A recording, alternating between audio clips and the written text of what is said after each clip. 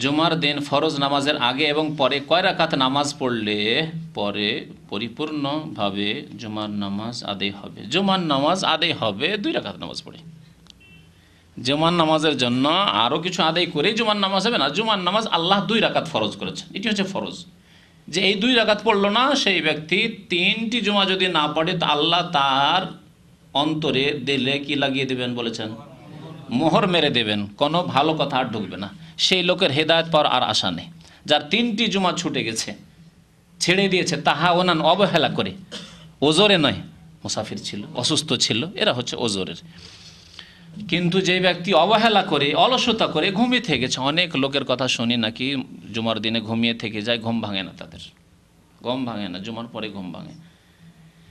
তো এইরকম যাদের অবহেলা করে জুমার নামাজ ছুটে গেছে, তিনটি নামাজ, তাবা আল্লাহ আলা কালবিহি, তাদের অন্তরে আল্লাহ মোহর মেরে দেবেন।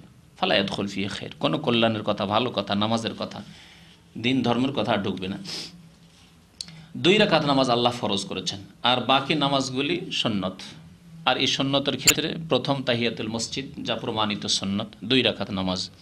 তারপরে এর বেশি যদি পড়েন, তাহলে তা হচ্ছে নফল। এই ক্ষেত্রে নবী শাসন একটি হাদিস রয়েছে যে মসজিদে একজন লোক আসলো জুমার দিনে, ফাসাল্লা মাকুদ্দের আল্লাহু যতটা সম্ভব হলো সে নামাজ পড়ল। তাহলে যতটা সম্ভব, অতিরিক্ত যদি আপনি পড়তে চান, দুই রাকাত, চার রাকাত, ছয় রাকাত পড়েন। এই ক্ষেত্রে ওলামারা বলেছেন যে জুমার নামাজে গিয়ে দুই রাকাত নামাজ তো সোনাতে মক্কাদা আপনি পড়লেন তাহেতুল মসজিদ। তারপরে কোনটি উত্তম? কোরআন তেলাওয়াত করা উত্তম না নামাজ পড়া উত্তম? এই নিয়ে ওলামারা দুই রকমের মত পেশ করেছেন। কেউ বলেছেন নামাজ পড়া, নফল নামাজ পড়া, উত্তম। কেউ বলছেন না, কোরআন তেলাওয়াত করা উত্তম। আর তৃতীয় মত হচ্ছে যে নামাজ পড়েন আর লম্বা করে আর ওতে যদি তেলাওয়াত করেন, তাহলে দুটোই হলো।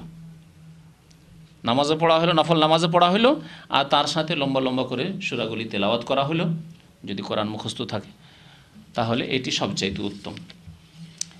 তাহলে নফল নামাজ, তাহলে নফল নামাজ কিন্তু সংখ্যায় আসবে না। যেমন আমাদের দেশের মানুষের কিন্তু এরকম অভ্যাস রয়েছে যে নফল মানে কয় রাকাত? নফল মানে আবার কয় রাকাত হয় কি? নফল মানে অতিরিক্ত। হ্যাঁ? ওভার টাইম যেমন আছে। কেউ যদি ওভার টাইম কয় ঘণ্টা? বাধ্যতামূলক নাকি? আপনি ছ ঘণ্টা করবেন ছ ঘণ্টার মেহনত পাবেন।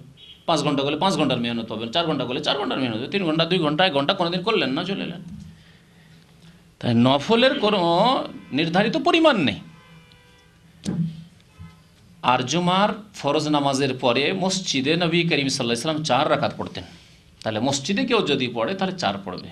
আর নবী সাল্লাম বাড়িতে এসে পড়লে দুই পড়তেন। বাড়িতে এসে পড়লে দুটোই যায় যাচ্ছে যদি এক সালামে পড়েন, তবু অসুবিধা নেই। দুই সালামে পড়েন, তবু অসুবিধা নেই। মসজিদের মসজিদ থেকে ফিরে আসে বাড়িতে নবী সাল্লাম বা কখনো হয়তো মসজিদে পড়তেন না, বাড়িতে এসে পড়তেন, দুই রাকাত পড়তেন। এখান থেকে ওলামারা বলেছেন যে সন্নত নামাজ বাড়িতে পড়লে মসজিদের চাইতে দ্বিগুণ সওয়াব পাওয়া যায়। কোনখান থেকে নিয়েছেন তারা? যে নবী করিম সাল্লাম ওই জুমান নামাজের পরের নামাজটা মসজিদে পড়লে চার পড়তেন, আবার বাড়িতে পড়লে দুই পড়তেন, তাই বলে দুই আর চার সমান। চার রাকাত মসজিদে পড়া, লোকজনকে দেখিয়ে সুন্নত নামাজ, আর বাড়িতে গোপনে সুন্নত নামাজ দুই রাকাত পড়া, সমান নাকি?